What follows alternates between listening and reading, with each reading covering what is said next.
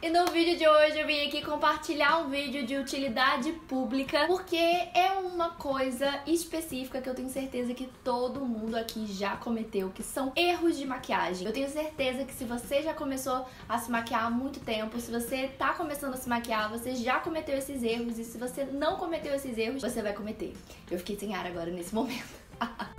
Alguns erros, assim, que eu observo nas pessoas, que eu observo no dia a dia. Eu acho que interfere muito no resultado final da maquiagem, no resultado de, de bonita ou feio, sabe? De repente você tem os melhores produtos do mundo, mas você comete esses pequenos errinhos e aquilo dali acaba com a sua maquiagem, prejudica a sua maquiagem e dá vontade de você parar a pessoa na rua e falar assim: Talvez não, talvez tenha alguma coisa errada aí. E hoje eu vim aqui falar especificamente sobre pele, erros de maquiagem pra pele, que eu acho que a pele é a base da maquiagem, né? Se você erra na pele, a sua maquiagem pode ficar prejudicada num todo. Então hoje o vídeo é específico de pele, mas se vocês quiserem eu posso voltar aqui e fazer outro de sombra, de batom, enfim, de coisas assim que não estão ligadas à pele, né? Que estão ligadas ao resto da maquiagem. O primeiro erro começa com uma das principais etapas da maquiagem, que é a base. A primeira coisa é o tom da base. Uma das coisas que eu errava bastante no início é que eu ia na loja e aí eu pegava a base, sei lá, ó, passando essa base aqui que é a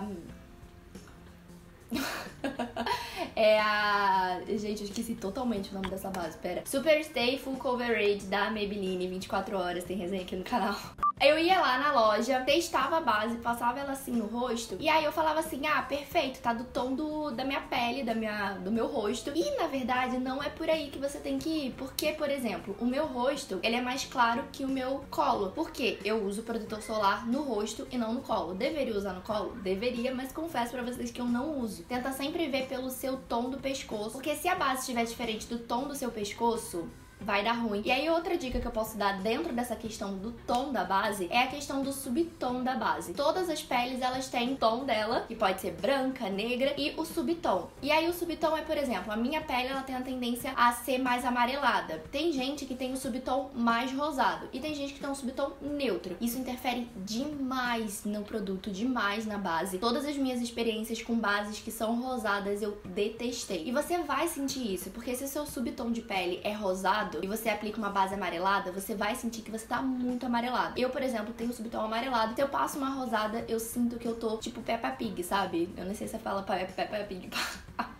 Terceiro erro na hora de você comprar sua base, eu acho que é terceiro, já tô um pouco perdida aqui. Você atentar que todas as bases ou a maioria das bases oxidam. E aí você tem que tomar esse cuidado, porque eu já comprei várias bases que eu passei na loja super rápido, amei, achei incrível. E aí, quando eu cheguei em casa, fui usar a base, a base estava num tom diferente. E o que é basicamente oxidar? É quando a base entra em contato com o meio ambiente, com oxigênio, e ela adquire uma pigmentação diferente, um tom diferente normalmente é para um tom mais escuro. Normalmente você aplica ela um pouquinho mais clara e ela se oxida para uma coisa assim um pouquinho mais escura. Lógico que não vai ser uma coisa assim surreal. Eu espero que não, senão você procura outra base, que senão essa não serve. Então minha dica para você nesses casos é que você experimente a base dentro da loja, testa ela, pede pro vendedor para você passar, sai da loja e vai viver normalmente o seu dia, para ver como a base se comporta na sua pele. Se você gosta dela na sua pele, se o tom é realmente o seu tom, se tá no subtom certo, se ela oxidou. A luz da loja não é a melhor luz pra gente poder testar. Pode ser que você não goste do acabamento dela, então ao longo do dia você vai conseguir perceber isso. Então a minha dica para você não errar no tom e também na escolha da base é você testar e viver a sua vida, que eu tenho certeza que isso vai funcionar e você vai ver se a base realmente é ideal para você, se você realmente gosta dela. Próximo erro, que na verdade eu não sei qual é o número, eu já meio que me perdi, mas eu acho que todos os erros que eu falei até agora foram em questão de um erro só, que é o tom. Então o próximo erro é aplicação. E aí tem alguns erros dentro de aplicação também que a gente pode falar. O primeiro de todos é o sentido da base. Por exemplo, todas as vezes que eu vou aplicar base, eu aplico do centro do rosto pro final, porque normalmente a gente precisa de mais cobertura no centro centro do rosto do que no final. Então, por exemplo, eu pego um pouquinho de base, eu te até pego aqui, aplico aqui, trazendo do centro do rosto até o final do rosto, numa direção só. Isso é super, super, super importante, gente, porque eu já vi pessoas próximas fazerem isso, que eu peguei e falei, miga, não faz isso, não faz isso que tá me dando nervoso. Pegar, por exemplo, o pincel e fazer assim, sabe? Não faz isso. O nosso rosto ele tem pequenos pelinhos. E se você passa a base assim de qualquer jeito, você vai acabar oriçando esses pelos, eles vão ficar numa super confusão ali. Vai ficar feio e o acabamento da base também não vai ficar bonito. Quanto mais você usar só um sentido para fazer a sua base, mais a sua pele vai ficar uniforme e consequentemente o acabamento vai ficar mais bonito. E aí a outra questão na hora de aplicar é quando você, por exemplo, observa que a sua pele tá com esses rastros assim, eu sempre venho com uma esponjinha e dou um acabamentozinho, sabe? Isso é uma super, super, super dica. Eu achava antigamente que não fazia menor sentido, sabe? Tipo, ai, pra que, que eu vou aplicar uma esponjinha se eu já tô aplicando com pincel? É porque às vezes, dependendo da espessura da base, pode ser que o pincel deixe algumas marcas no rosto, sabe? E a outra coisa, o outro erro, é quando realmente a máscara não se faz pelo tom e se faz na hora da aplicação. O que isso significa quando você vem com a base, ó, aqui assim. E aí a base fica aqui, ó, parada aqui e aí você consegue ver a pele da pessoa, o pescoço da pessoa e fica tipo três tons. E não fica legal, gente. Fica muito feio. Então, assim, desde que eu aprendi essa dica, todas as vezes que eu vou me maquiar, eu reparo nisso. Pode ser que às vezes eu dê uma errada, pode ser, somos humanos, todo mundo erra. Mas uma das coisas que eu me preocupo muito na hora de eu aplicar a base é verificar se todos os cantinhos do rosto, seja aqui embaixo, perto do pescoço, seja aqui em cima, perto da raiz, se todos os cantinhos estão bem esfumados e estão bem uniformes. Próximo erro é questão de combinação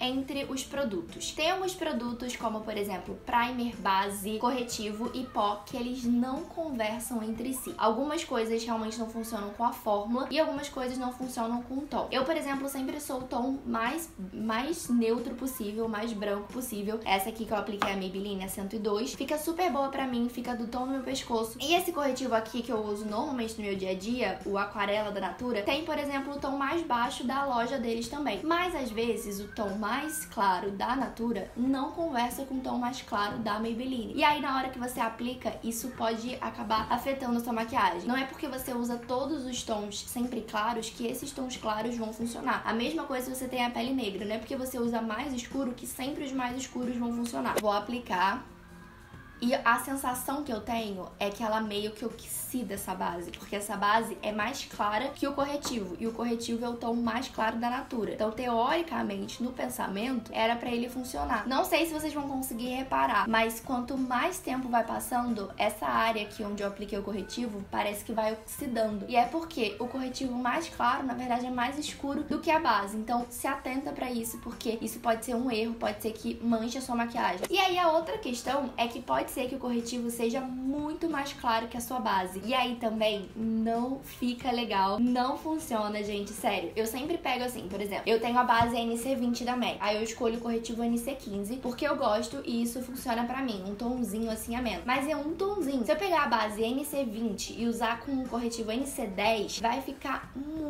estranho, vai ficar feio, vai ficar muito diferente, sabe? A sensação que eu tenho é que quando você pega óculos assim de sol, sabe? E aí o seu rosto todo fica num tom mais escuro e só isso aqui fica claro. Eu acho que é mais comum, muito mais claro do que o mais escuro, sabe? E aí realmente também não funciona. Finalizei a maquiagem pra vir aqui falar com vocês e eu espero muito que vocês tenham gostado desse vídeo. Se você gostou, deixa seu like aqui pra mim que é super importante e é super importante pra mim ter ajudado vocês de alguma forma com as dicas na hora que você fosse maquiar. E me deixa aqui embaixo também nos comentários algum erro de maquiagem que você considera assim mortal, que te incomoda de olhar, que você repara nos outros, porque não só ajuda as pessoas que estão assistindo esse vídeo também, mas me ajuda, porque vai que eu cometo algum desses erros que você acha que é erro e eu não sabia que era erro. Então é sempre bom, eu amo trocar essas informações aqui com vocês nos comentários, eu amo essa troca que a gente tem. E é isso, não esquece de deixar o seu like pra mim, que é super importante, se inscreve aqui no canal e a gente se vê no próximo vídeo.